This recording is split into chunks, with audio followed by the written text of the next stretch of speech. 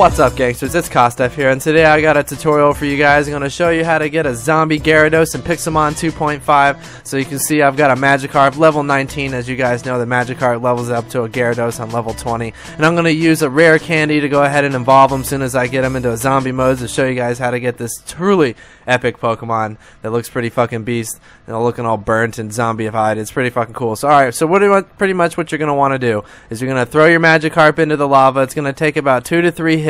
You're going to instantly retrieve them and throw them back into the water, and then we're going to evolve them. So we're going to go ahead and do it.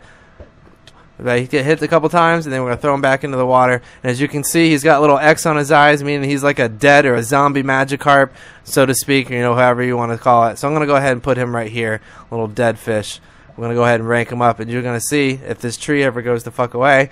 Um, it level up into a pretty epic, you know, zombie type Pokemon, you know, I'm not really, you know, I guess, all that familiar with Pokemon in general, but I guess it's a zombie type because he's dead and he's got X's on his eyes. Um, some call it a burnt Gyarados. Either way, it's pretty fucking epic. So I wanted to bring you guys a short tutorial and show you how to get it. As you can see, we're watching the new evolution animations provided in the Pixelmon 2.5. Okay, wow, it's massively huge and I can't even see it. Let's see if we can fit him in here.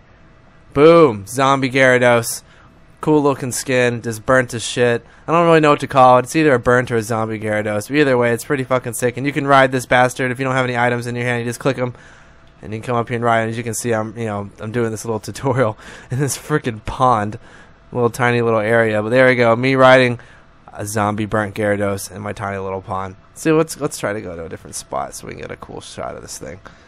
Let's see if we can just warp to, uh, I guess the shops. I want to say is where we can warp to. If I ever stop glitching out. No, that warp doesn't exist.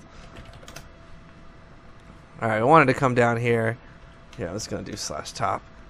I want to come down here and show you guys him in a, in a better light. So to speak. Oh, I'm not in game mode, am I? Oh, thank God that water was there. That was clutch. Totally didn't mean to do that. Alright, we got some nice ponds out here in the front of our spawn here at Pixel our little Pixelmon whitelist community server. And here we go. Retrieved him. Damn it. There we go. Zombie Gyarados, and as all his magnificence, burnt Gyarados. Hope you guys enjoyed this short tutorial. It's actually pretty simple. You just throw them in lava and then throw them in water and evolve them. Hope you guys enjoyed this short tutorial. Leave a like and a favorite if you did. And if you want to come join us here on PixelWrath, there'll be a whitelist application in the video description below. Catch you guys later.